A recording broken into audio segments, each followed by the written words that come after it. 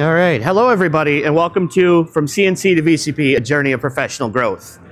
Uh, let's get this out of the way. It's the VMworld disclaimer. I'm sure we've all seen this a hundred times at this point, but it's up there. Uh, a little bit about me. I am Paul Woodward Jr. I'm a data center engineer from Presidio.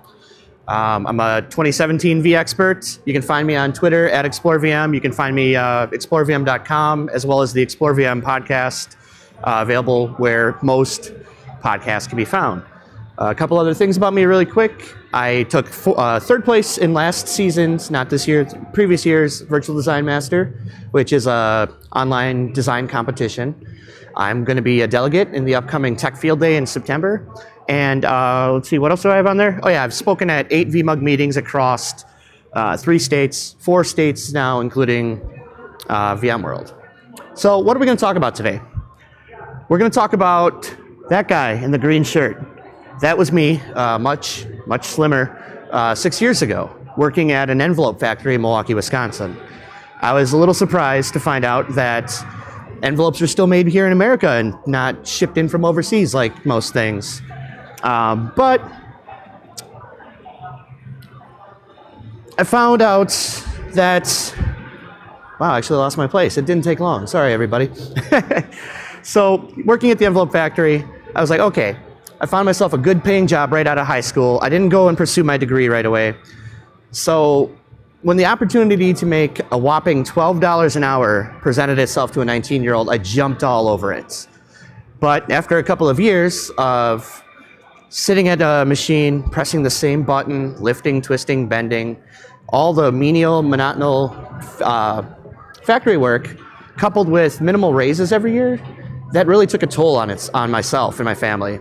So at that time, my wife said, "You know what? Maybe you should go back to school. Let's, you know, find something else. Let's have you come up with a new career." So at that point, I'm like, "Okay, well, I talked to people I knew who were in IT." I talked to the IT manager at work, and I talked to all my friends who were in IT, and they said an associate's degree is a great place to start. So, okay, perfect. Um, I've got, let's, there, there's my starting point. Let's go ahead and go with the associate's degree. So, being the, the analytical person that I am, I said, all right, let's look and research the schools. Where I was living is between two different technical college systems. And the, the, the, fact that I spent that time and really researched where I was going to go ended up paying off dividends in the end because the college I chose really helped form who I became. So, all right, cool. We got the college, we got the degree program. At that point, I sat down with my wife and we started looking at all the, the coursework, and we didn't have kids. My job was set from 7 a.m. till 3 p.m., Monday through Friday, so I had a very set work schedule. So, trying to make up for the time that I lost by not starting uh, college right away out of high school, I said, you know what? I'm really going to hammer down on these course these courses, and I ended up signing up for four nights worth of classes. So I was working 40 hours a week, plus 12 hours of school. I mean, that should be easy, right? It sounds easy. The problem with that was after the first month, when the excitement of learning something new and like, oh, this is gonna be great, I'm gonna change my life, when that wore off, it really started to catch up. And I also had set the bar really high for myself at that, uh, at that time. Since I kind of slacked off in high school, I said nothing but A's is going to really fly for me in college, especially I'm paying for this. I want it to be worth my time. And I also wanted to transfer to a four year school after the associate's degree program. So, again, having the good grades. So, at that point, I had to kind of take a step back. I realized I had bitten off way more than I could chew. And that is a feeling to this day that I'm glad I can recognize and acknowledge and do something about. Uh, if, to me, if you've got if the ability to admit that you've got more on your plate than you can handle, or to actually like decline taking extra work on, I, I don't see that as unprofessional or unreliable.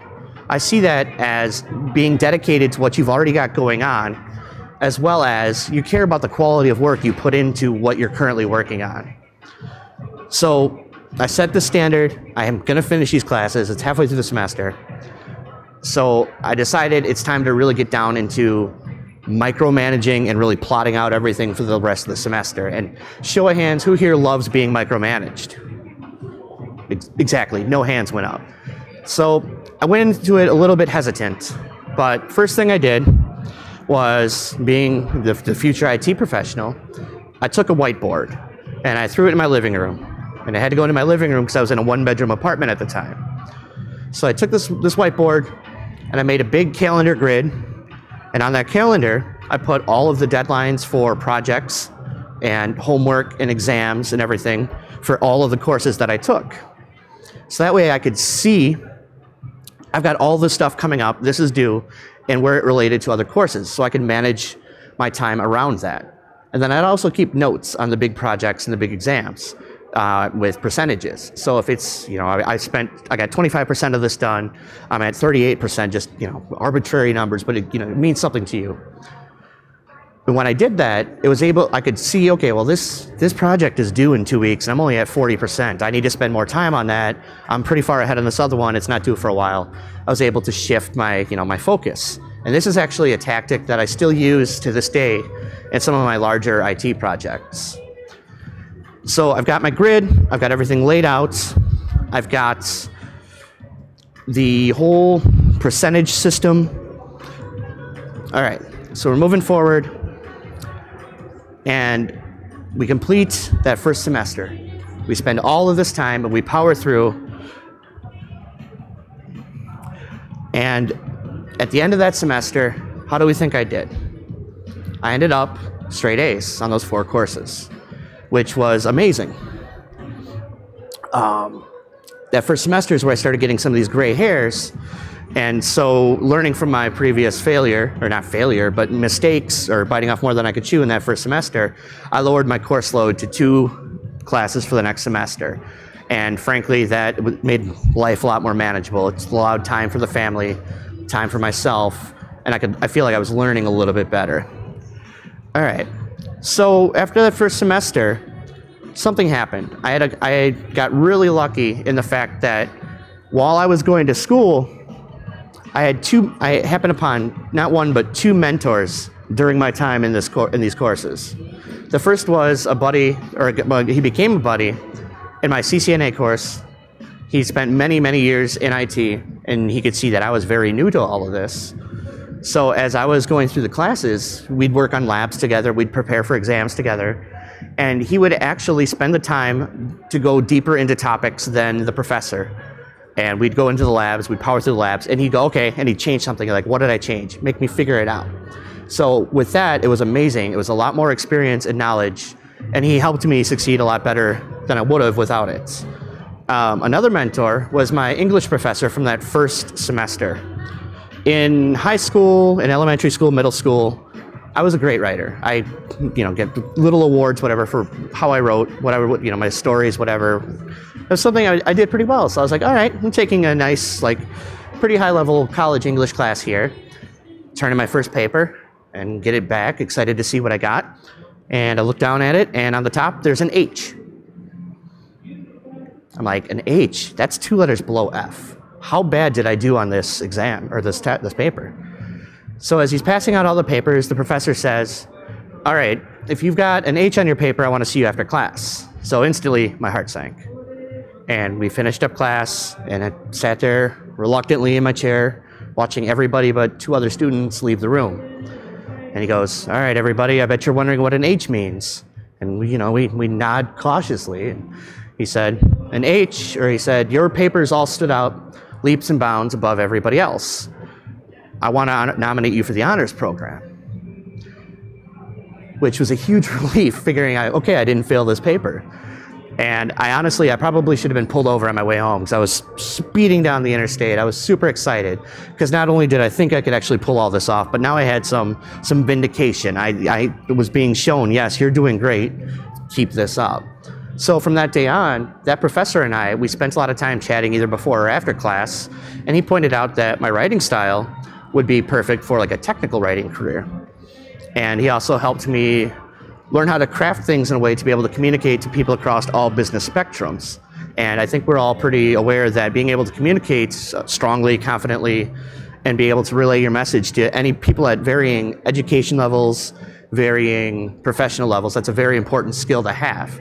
I mean, here I am speaking to a room full of professional, tech, uh, professional technical people. So after all of that, I finally graduated. Here I am, graduation day.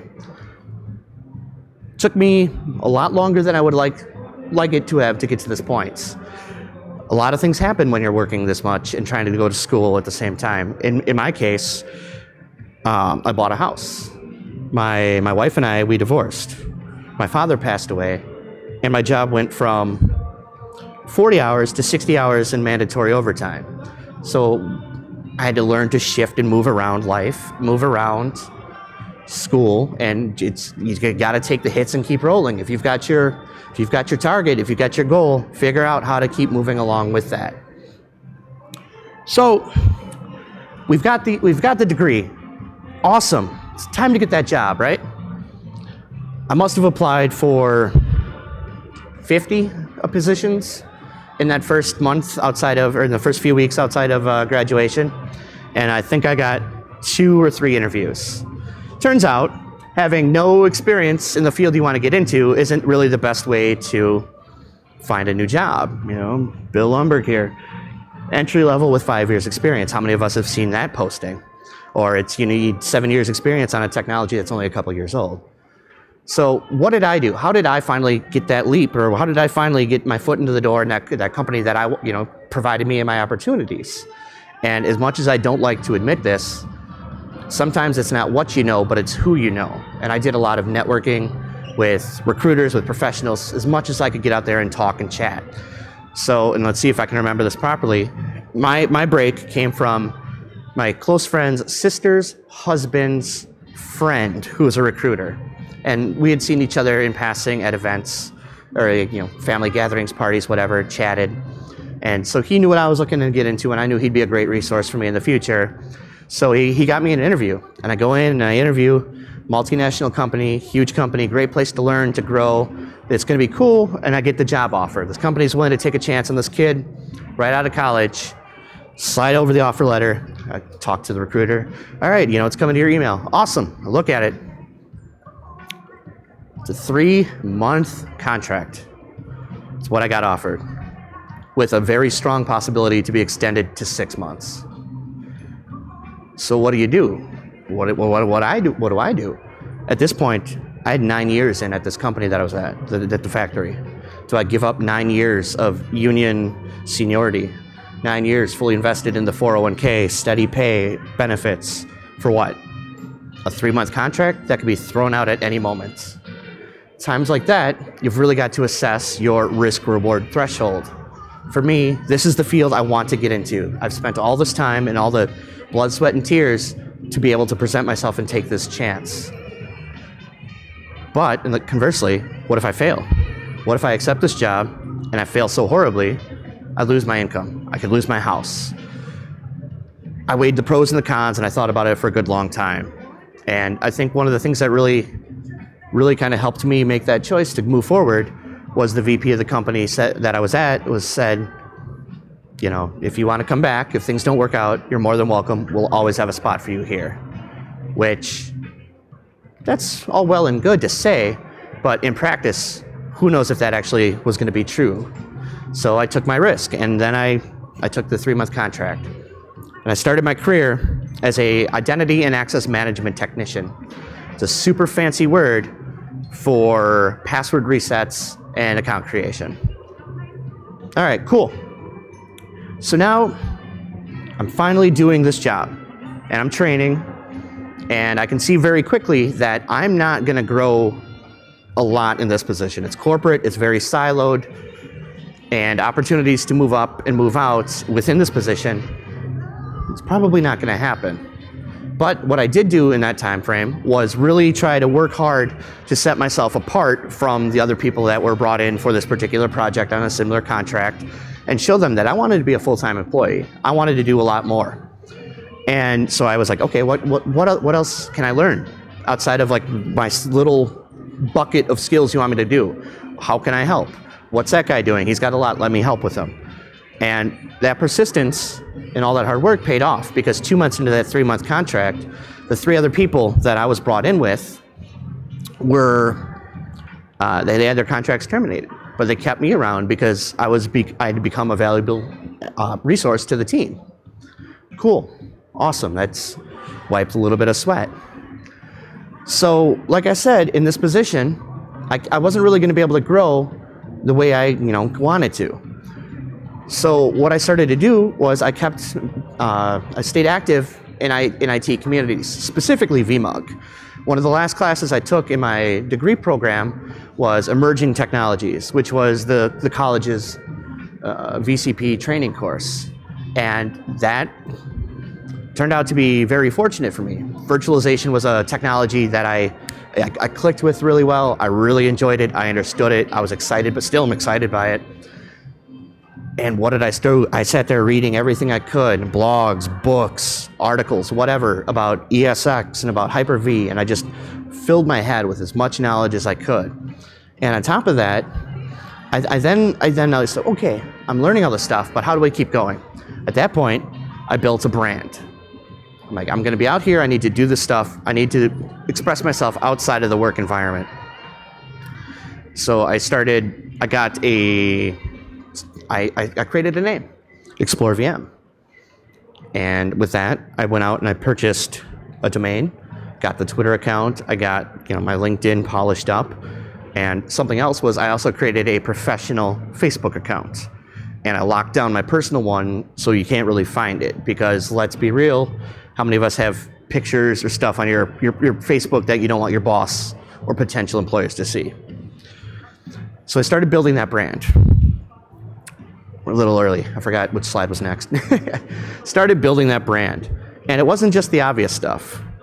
Um, I locked down many other smaller accounts as well any kind of social media platform you can think of. Lock it down with your name. It prevents other people from using your name in a way you wouldn't want it to be, or your brand in a way you wouldn't want it to be.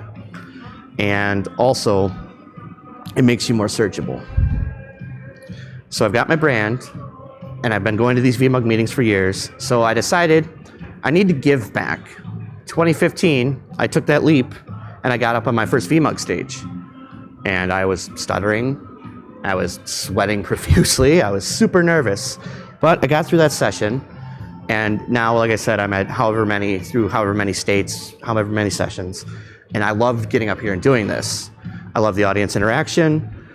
And it's, it's been great to give back. And it's also rewarding to hear people come up and say, you know, well, thank you, what you talked about. I'm going to try this.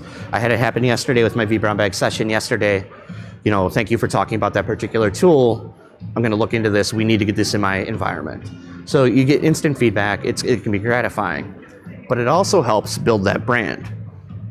So programs like the vExpert program or the Nutanix Technology Champions program that recognize your involvement in the community. I've been accepted in both of those, and that's allowed me to help grow my brand. The fact that I'm here speaking has actually a lot to do with the vExpert program. So we've got, we're out speaking, we've got a brand, I started blogging as well. I started just whatever topics I learned about at VMUG, whatever I was doing in the home lab, whatever I was doing at work, get out there and blog, share your knowledge. And then, oh, that's that's where the next slide comes into play. One other little piece. I go back and going back to those obscure uh, social media platforms. Lock everything down. And the one I'm going to call out that people seem to forget about is Google Plus yes, Google Plus is dead, but you want to have your brand into Google because Google gives priority to Google generated content. So that's what we've got here. This was a screenshot of searching Explore VM. Here we can see that explorevm.com is the first, uh, and my Twitter is second, and then what's the third? It's my it's my podcast being shared over Google Plus. So it keeps you in the top of the the top of that first Google search page. So when employ, potential employers are looking for you, you can be found. So, okay, we talked about all these different social media platforms, all these things to do. Do you have a real world example of how this can be applied? Sure. So, I started that, that uh, identity access management position, and six months in or so, we all got herded into a meeting room. Hey, just so everyone knows, we're going to get rid of our North American IT department. You've got three months to find a new job went out, I found a new job. I started working at an MSP, and I spent a couple years there. And financially, the company hit some hard times, made some choices to lay off a big chunk of the workforce. So I found myself out in the world looking for a new job. First thing I did is I jumped on my social media platforms and I threw out this tweet. Hitting the job market again, looking for something. You know, let that sit out there, let the world see that. Um, I also had phone calls to the re- recruiters that I'd been working with just passively throughout the years. Uh, as I was leaving the parking lot for my then, you know, former employer, I had interviews set up for that Monday. It was a Friday. They did the layoffs. I had interviews already for Monday. So keeping those relationships going is huge if you're trying to, you know, find your next step. So I sent out this tweet. This was the Monday after I was laid off. Within five minutes or so, I get a direct message from one of my followers that I actually interviewed for my blog years ago before I even got into the field of IT. And he said, Hey, you know, uh, we're looking for a data center engineer. I've been following you for a while. Like, I read your stuff. You know, I think you'd be a good fit for us. Would you like to interview? I'm like, Of course. Like, you know, who doesn't like getting paid? Yeah, like, I'll do that. And honestly, I interviewed with the company and I took, you know, I was offered the position and I took it. And frankly, I'm rather glad that I did.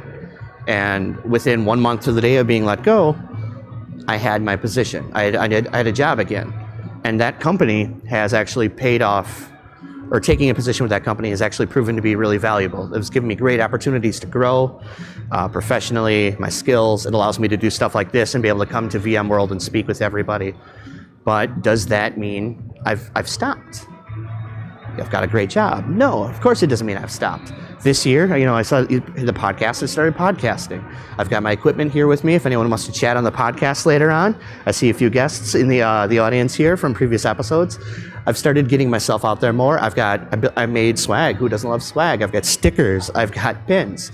I'm doing everything you know I've seen others do to help try and promote my brand. So it's always try to continue to grow. And another thing I keep doing, and you, some of your employers might not agree with this, some of them do, is I, I, I pursue a lot of certifications. Even if you don't need that paper for your job, studying for and taking certifications is a great way to actually learn about new technologies. Um, here are some study, uh, study tips that I have found useful.